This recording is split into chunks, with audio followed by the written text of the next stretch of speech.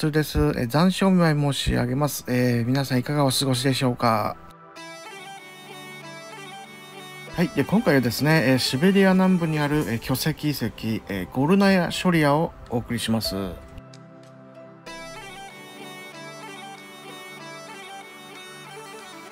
2014年にシベリア山脈南部の調査で発見された世界最大級の巨石遺跡。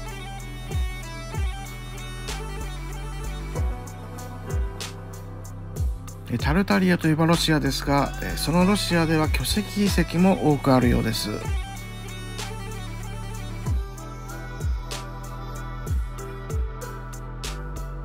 一番古い巨石で1万年近くものがあるようです。現代の年代測定はねあまり当たりにならないので年代は参考程度にしておきます。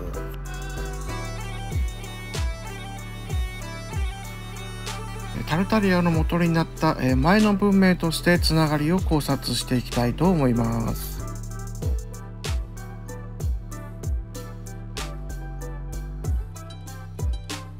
場所はこの辺りですね。ロシア・シベリア南部ケメロボ州。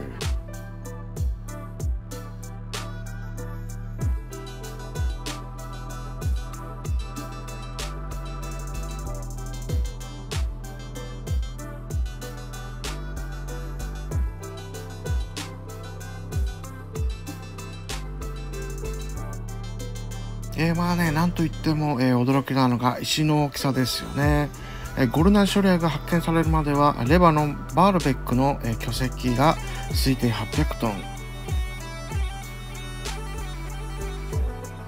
まあ、こちらもね、これもかなりすごいですよね。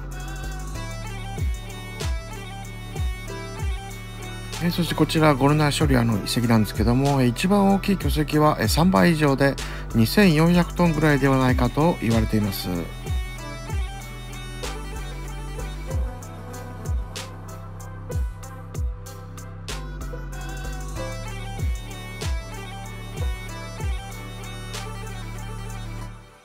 その他の遺跡と比べてみますと、モアイ像の最大級の石像で約90トン、イギリスのストーンヘンジ約50トン、エジプトのピラミッドの平均石重量約2.5トン、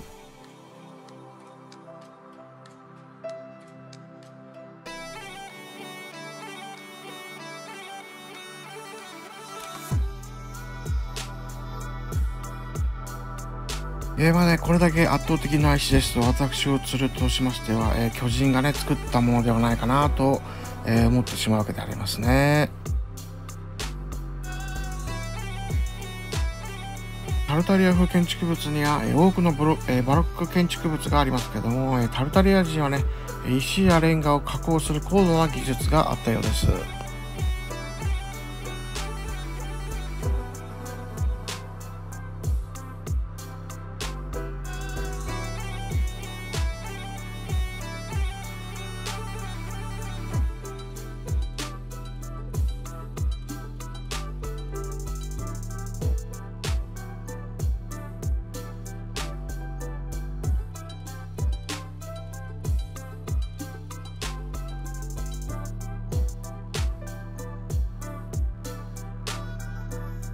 標高 1000m 以上の山地にありどうやって巨石を運んだのか不思議で謎のままとなっています。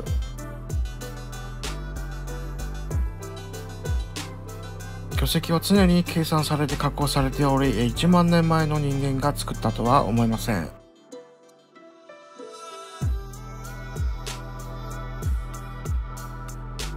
えこちらの画像のようにですね、え内部は空洞になっていて人が通るのに十分な作りになっているようです。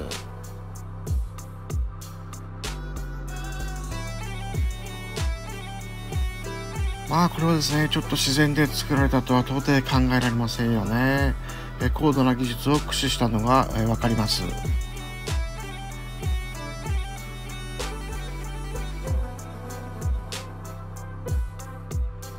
高度な技術を持った石造りの巨人。調べましたらサイクロプスが当てはまるようです。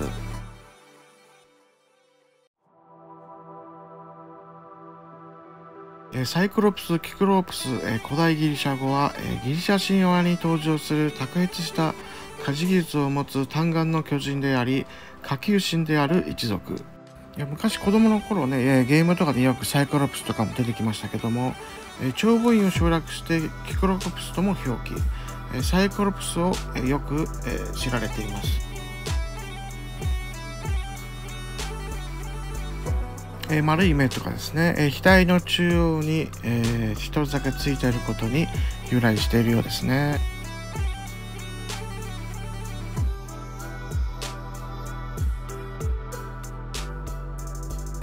クロープスの巨石建造物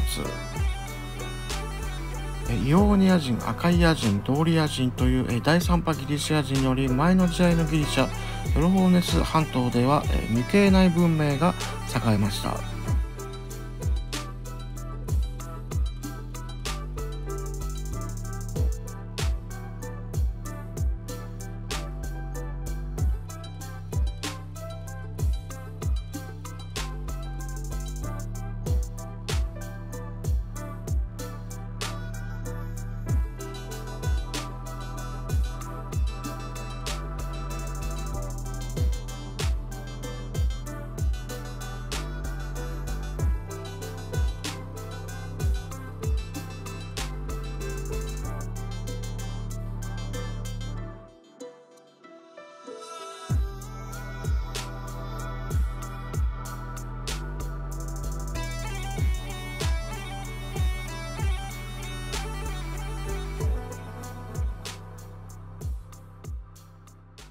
え石造りのね、高度な技術を持った巨人、サイクロプス、えとてもね、興味深いですね。あと、日本のダイダラボッチも、え石岩であったという情報が入りました。えダイダラボッチも、え浅間山や、え富士山の土を掘ったり、え掘り返したりして、え何かを作るという面で、えサイクロプス一族のね、秀でた部分が出ていたのかもしれませんね。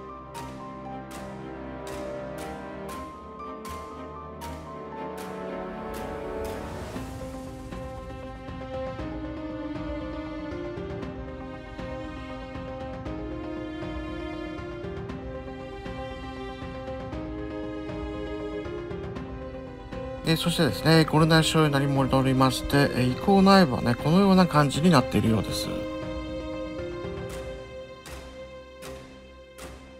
でシベリアというね、寒い地域だけに深い地下を掘ってそこで暮らしていたのでしょうか。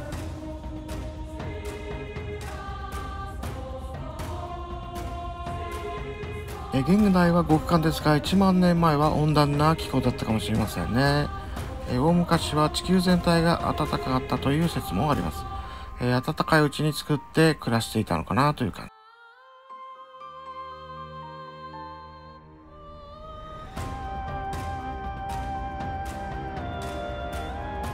え人間でもなく、え巨人でもないとすると、あとは宇宙人ですかね。え当チャンネルはね、宇宙人をやってないので、とりあえず置いておきます。ロシア・シベリアにはまだ他にも巨石文明があるようです。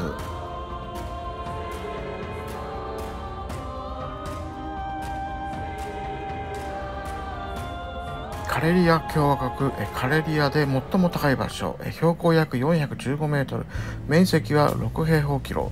ボットバーラ山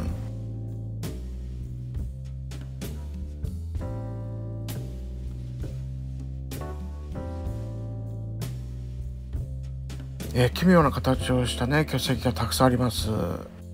何に使用していたのでしょうか？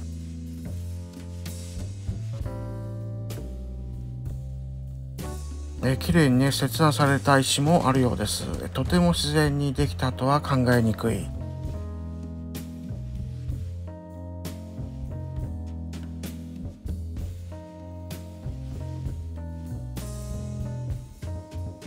えー、学者たちの研究ですと約9000年前の大地震での影響ということなんですけども、えー、とてもねそうは思いませんよね。なんかビーム兵器で切ったような切断面です。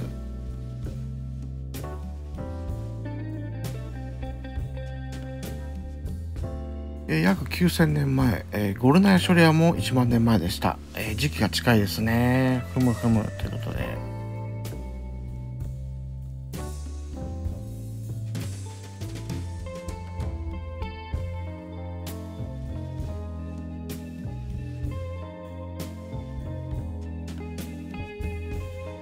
のようなね空洞も、えー、あるんですけどもやはりこの地域もね寒いので巨人が空洞を作り、えこの中で寒さをしのぎ暮らしていた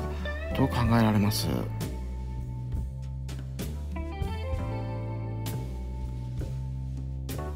であとですねカレリア共和国で気になった建築物が一つあるのでご紹介したいと思うんですけども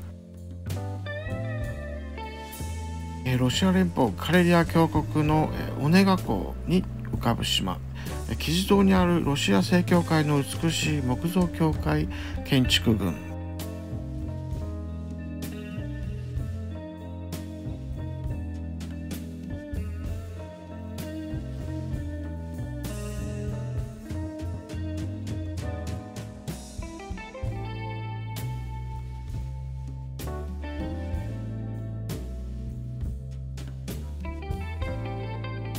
キノコ状のねドームがたくさんあってとても神秘的ですよね。映画やアニメでも出てきそうな建築物です。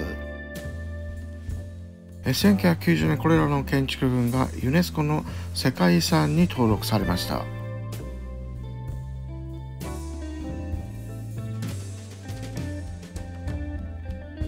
そしてお次に紹介したいのは、えー、シホテアリニ山脈のピダン山。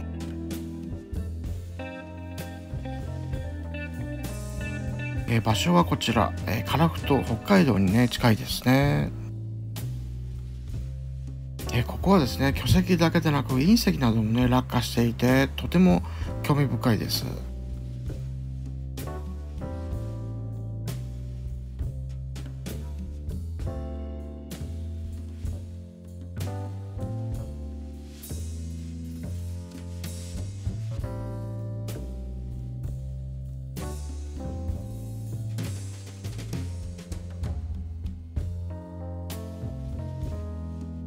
えこの地域のね巨石も1万年ぐらいでしょうかね。とすると日本から、え近い縄文のつながりもあるかもしれませんね。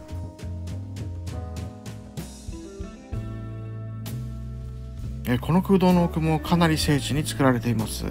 サイクロプス一族でしょうか。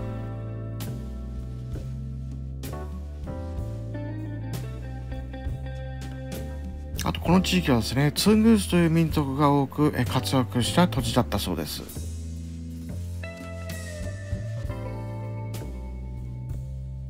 えツングース系民族はですね、え国家を建てたりせず、え主力説として、え満州族や漢民族、ロシア人と交易しながら暮らしていました。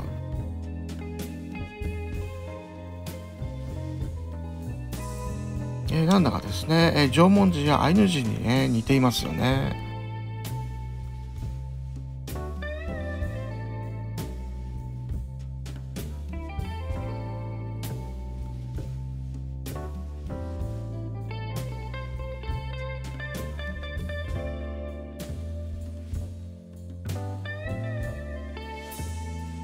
1947年にこのシホテアリニ山脈で小惑星の衝突が起こりました。シホテアリニ隕石落下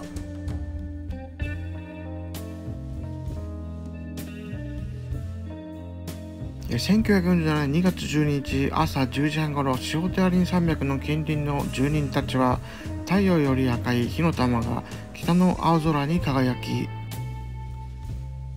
爆音が轟くのを聞いたその光と音は半径300キロにわたって目撃されその後多くの火の玉が飛行機雲のような雲の痕跡を無数に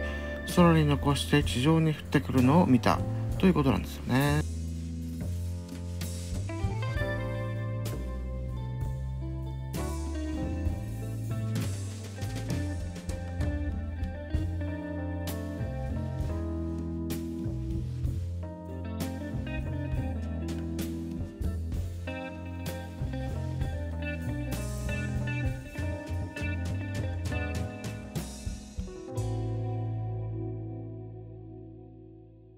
えロシアはですね、え皆さんもよくご存知だと思いますけども、えよく隕石落下がねありますよね、え巨石が巨石を引き寄せるのでしょうか。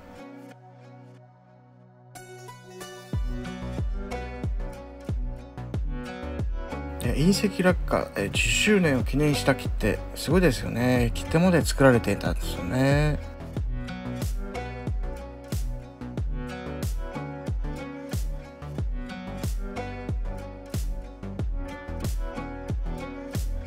ちらはシホテアリニ隕石の一つ。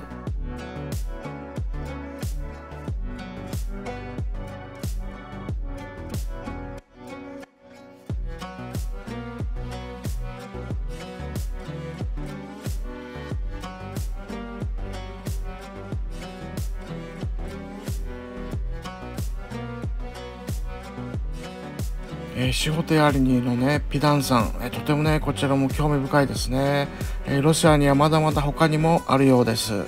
恐ろしや。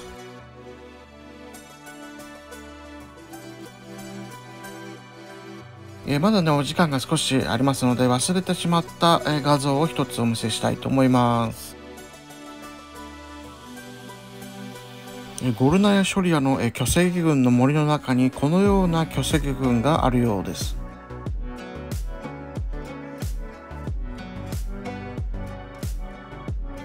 るで、え万里の長城のようなね景観ですね、え中国の、ね、万里の長城は、え蛮族からの、ね、侵入を防ぐために作られたということですが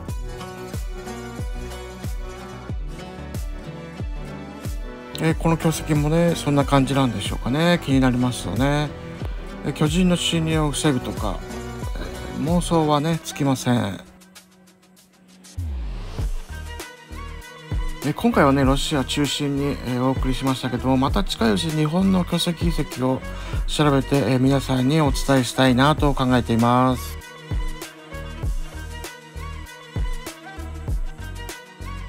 えではそろそろね、お時間が来ましたので、お開きにしたいと思います。え今回は皆さんの目にはどう映ったでしょうかご視聴ありがとうございました。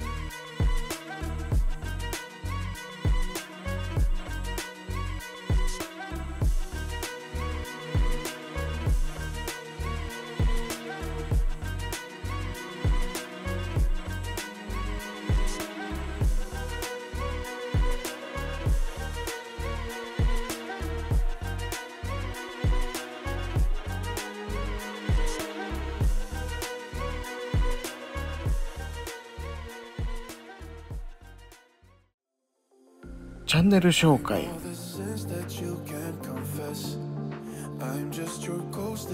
いつもねご視聴ありがとうございます。え当チャンネルもね5年目を迎えさらなる飛躍を目指し初ライブを挑戦したいと思います。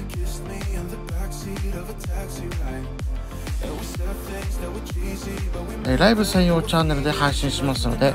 下記を登録していただければ幸いです。え詳細はですね、またコミュニティなどで追って連絡いたします。えよろしくお願いいたします。